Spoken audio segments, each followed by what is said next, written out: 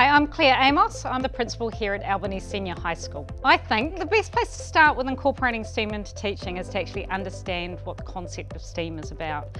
So often when people talk about STEAM, they talk about the fact that it's science, technology, engineering, arts and maths, but the most key thing to remember is that it's actually about the integration of those things.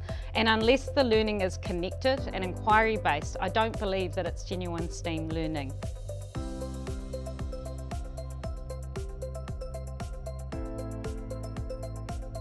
The best place to start with STEAM learning is to think about the opportunities that lie in your everyday teaching of subjects. So in a primary context, when students undertake a science inquiry or any kind of inquiry, there's opportunities to integrate aspects of STEAM into it. Whether it be presenting science through art materials or thinking about um, robotics and how it connects to other aspects of mathematics learning. In terms of within a secondary context, the place to start is looking beyond your siloed subjects.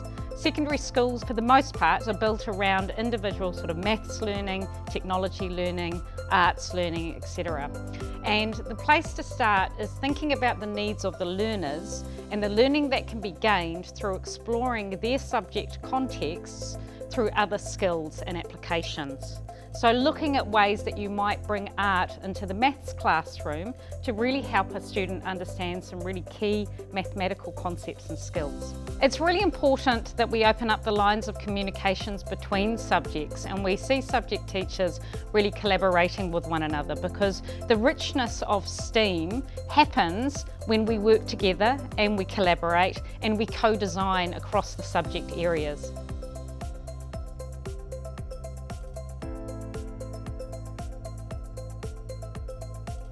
I think the best way to approach the digital technologies curriculum is an enabler for deepening learning across any learning areas.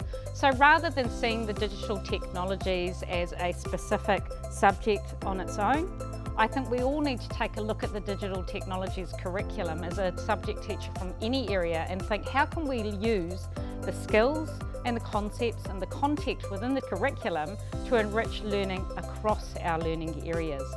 I think we will see it being the most powerful when we weave it into our entire school curriculum.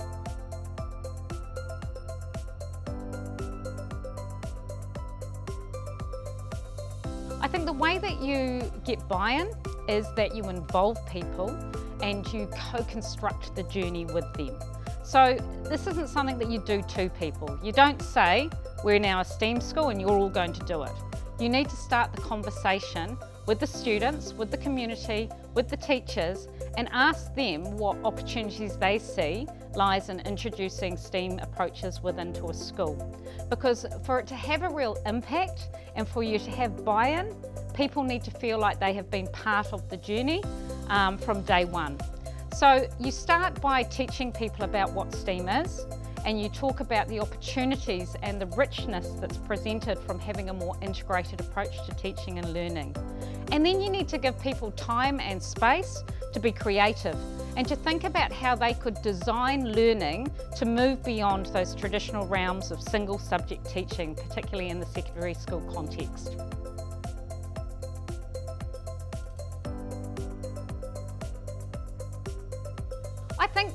Best way that you can actually do STEAM on a budget is handing it over to the students and presenting it as a problem for them to solve. So you need to start with what is it that you're trying to explore. So if you're looking at robotics, if you're looking at how you can use art and mathematics, if you're looking how you can combine engineering across the curriculum, you need to talk with the students. What is it that we're trying to learn? What is it that we're trying to do? Now you go off and you research and you give me ideas about the sort of equipment and the tools that we're going to need to make this happen. And you actually give them the control over the budget and you get them to think really creatively. I think one of the strengths we have going for us as New Zealanders is we have this number eight wire mentality and we have learned to pick up and use what's actually available to us.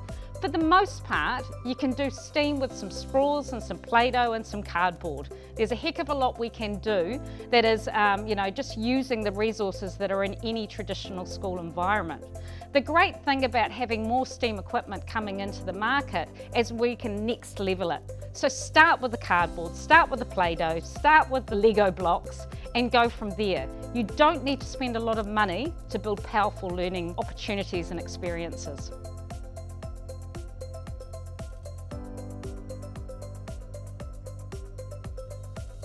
I think the way to upskill teachers on a limited budget is to run within school professional development, give them time and space to engage with STEAM experiments and learning experiences. Get them hands-on with your building blocks, with your Play-Doh, with your straw, with your robotics. Give them time to play and to explore because often what's the blocker for teachers is a lack of confidence. They think, oh no, you know, robotics is coming into the classroom, I don't understand it. But what they don't realise is that they don't need to understand it. It's more than okay to learn alongside your students and go on the journey with them. We've just got to have a little bit of courage and we've got to think a little bit more creatively. And we've got to open it up and be willing to learn alongside our students. So for teachers, absolutely, there's real power in creating time and space for them to play and to learn themselves but then also to encourage them to understand that it's quite all right for them to go into a situation and not be an absolute expert with the technology. I'm someone that loves technology in the classroom, but I don't see myself as a tech expert. What I do see myself as an expert in is being really open to learning with my students.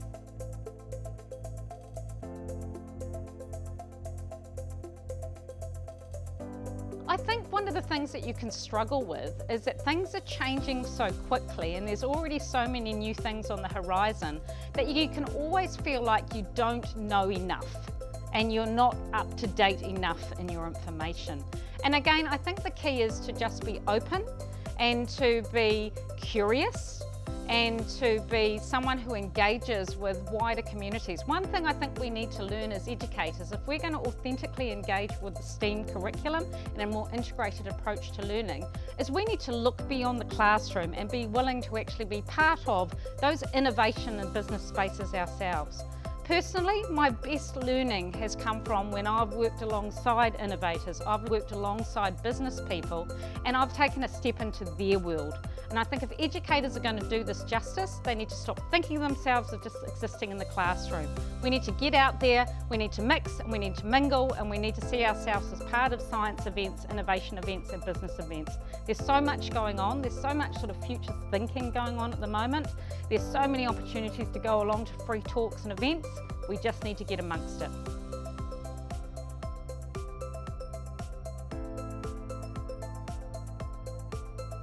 There's absolute benefits to introducing a STEAM or integrated approach to learning.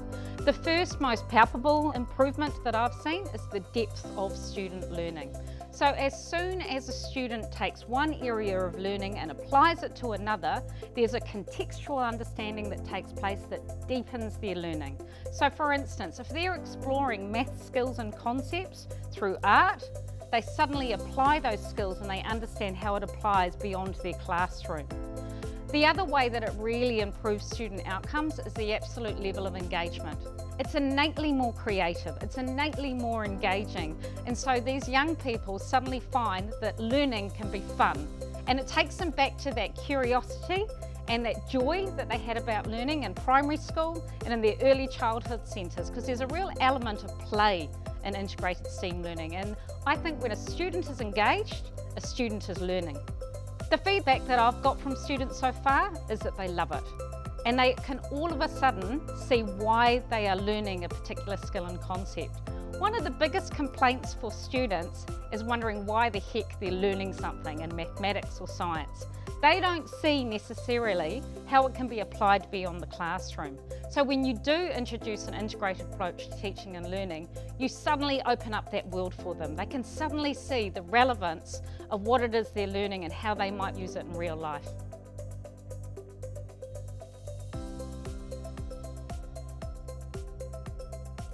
I see STEAM and digital technologies as becoming the heart of what we learn and the heart of how we learn.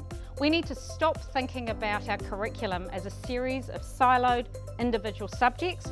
We need to start thinking about it as an integrated whole. And we need to remember that our job is not to teach a subject, it is to teach a child. If you haven't started looking into this yet, the first step is look around. There are examples of schools doing this across the country. So the first thing I would suggest people do is reach out, get onto Twitter, get onto Facebook, have a look at what's out there and where there's examples of this stuff taking place and upskill yourself and start to understand that it's really not that scary. The next thing I would do is to just start playing in the classroom. Find an excuse, find a reason to start exploring and learning with your students.